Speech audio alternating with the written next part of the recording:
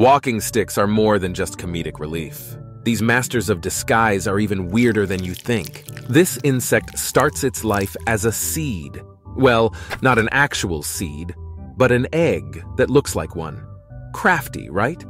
Ants, mistaking it for a tasty seed, carry it to their underground nests, providing the perfect environment for the egg to hatch. When it does, the newborn insect doesn't look like a walking stick at all.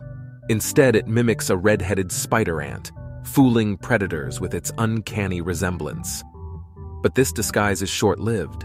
As the insect grows, it sheds its ant-like appearance and transforms into an adult that looks like a leafy branch, swaying gently like a leaf in the breeze. This insect may have many faces, but each one plays a crucial role in its survival. But let's be honest, its meme face may be the most crucial of all.